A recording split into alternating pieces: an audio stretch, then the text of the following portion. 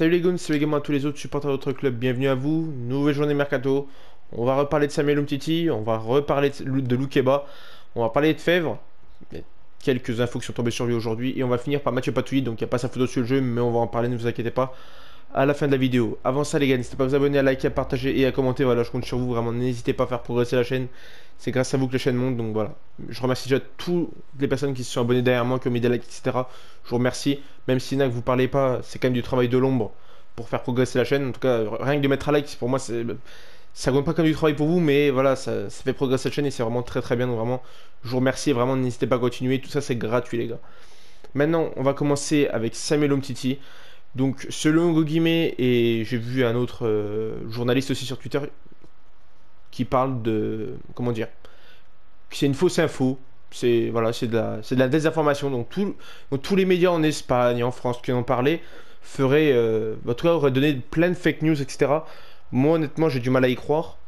C'est pas que je ne crois pas euh, ces personnes-là qui ont dit euh, hier, hier soir même, je crois, que c'était faux.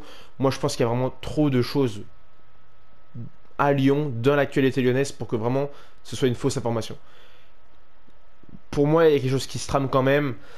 Le mercato, c'est que le début. Si vraiment la date, la butoir du Barça pour le rendre libre, en tout cas euh, qui coûterait zéro, c'est le 30 juin, on verra vraiment si le 30 juin est la semaine qui va suivre le 30, juin, si vraiment Umtiti, c'est. En tout cas, c'était une vraie fausse information parce qu'honnêtement, moi honnêtement, je j'y crois pas que ce soit une, fausse information. La cassette, à mon avis, il fait que ça de pousser en coulisses pour le faire venir. On, va parler de Loukeba qui va là vraiment fortement sur le départ, on va en parler dans quelques instants. Mais moi honnêtement j'ai du mal à y croire, mais voilà, je, je dis pas que ces gens mentent, hein, Hugo Guim, etc. Je dis pas que c'est des menteurs. Mais franchement, il y a trop de choses autour qui me font, qui me font penser vraiment à ce que Umtiti, ça pousse en coulisses pour le faire venir quand même. Mais je tenais quand même à vous faire passer l'information. On va passer à Loukeba. Euh, son prix de départ selon Lyon, ce serait 30 millions d'euros tout pile.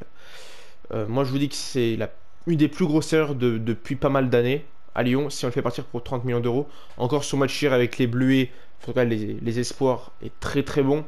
Il est vraiment au-dessus du lot en, défense. Donc euh, je pense que ça, cote, moi, à mon avis, hein, peut encore monter vu le, si déjà les Français vont loin euh, à l'Euro Espoir. Mais ça fait que ça fait que montrer son talent, même dans une équipe voilà où il joue euh, voilà quelques temps hein, quand il y a les rassemblements même dans une équipe voilà, où il peut, il peut très très vite progresser, etc. Je trouve. Il, a quand même quelques marques en espoir, ça fait longtemps qu'il y va. Mais je trouve que c'est quelqu'un qui, qui, peut, qui, peut, même progresser très très rapidement chez dans les clubs où il va. Quand il est arrivé directement à Lyon en équipe première, tout de suite on a vu ses qualités directement. Donc pour moi, vraiment, c'est ce serait vraiment une énorme erreur de le vendre que 30 millions d'euros mais vraiment une énorme erreur. Pour moi, il faudrait au moins le vendre, je dis à 50, mais bah, je vais peut-être viser trop haut, mais vraiment 45 millions, pour moi, c'est vraiment, c'est vraiment le prix parfait pour Loukeba. On peut pas se permettre de le vendre 30 millions, ce serait vraiment une trop grosse erreur. Leipzig, ils, rigolent, ils vont rigoler, ils vont dire 30 millions. Il suffit juste qu'ils fassent une bonne saison à Leipzig et qu'ils soient au moins 8ème de Ligue des Champions la saison prochaine pour qu'ils le vendent 80 ou 100 millions. Et ça, c'est sûr, hein. je pense qu'il y a beaucoup de, vous qui vont être d'accord avec moi sur, euh, sur ce que je viens de dire. Mais pour moi, il faut au moins le vendre 45 millions d'euros. Au moins. Ce serait vraiment dramatique. Mais vraiment, euh, je, le maintiens. Donc pour moi, 30 millions d'euros, c'est honteux. Si vraiment il est vendu à ce prix-là. Et à mon avis, beaucoup de gens vont, vont le penser. En tout cas, dans les youtubeurs lyonnais, beaucoup vont, vont être assez d'accord avec moi, je pense. Et même, euh, voilà, toutes les, tous les supporters lyonnais, à mon avis, ça risque de mal passer s'il part vraiment pour 30 millions d'euros. Donc je clôt le sujet là. On va passer à Fèvre. Fèvre euh, que Lorient voudrait vraiment euh, acquérir. Donc ça jouerait autour de 15 millions d'euros. Lyon vraiment voudrait 15 millions tout pile. Donc on l'a acheté pour 15 millions plus 3 de bonus, je crois. Donc si les 3 millions de bonus ne, sont pas activés, se sont pas activés, pardon, il partirait pour le même montant qu'on l'a acheté. Sauf que, pour moi, le petit truc positif que j'ai mis sur Twitter, c'est qu'il y a trois clubs anglais aussi sur, euh, sur lui. Everton, Crystal Palace, club ami, voilà, club que Textor détient un petit peu, qui il a un petit peu de part là-dedans dans le club là. Et Fulham, donc pour moi les clubs anglais sont toujours une source de surenchère dans le football. Dès qu'ils euh, vont sur un dossier à l'étranger, et qu'il y a voilà, toujours un petit club, un petit club français qui veut un dossier en Espagne, etc., ou un Italien qui veut un, joueur en, Allemagne. Dès qu'il y a un club anglais, vous inquiétez pas, il y a des surenchères. Donc pour moi, si vraiment Lorient le veut, qu'ils sont prêts à mettre 15 millions et que les Anglais aussi le veulent, ça va faire que monter. Et c'est une bonne chose pour nous. Donc c'est pour ça que moi, ça m'étonnerait même pas que si les clubs anglais le veulent vraiment, que son prix final atterrisse ou en tout cas arrive à 20 millions, à 20 millions d'euros. Et ça nous ferait une petite plus-value, je dis bien.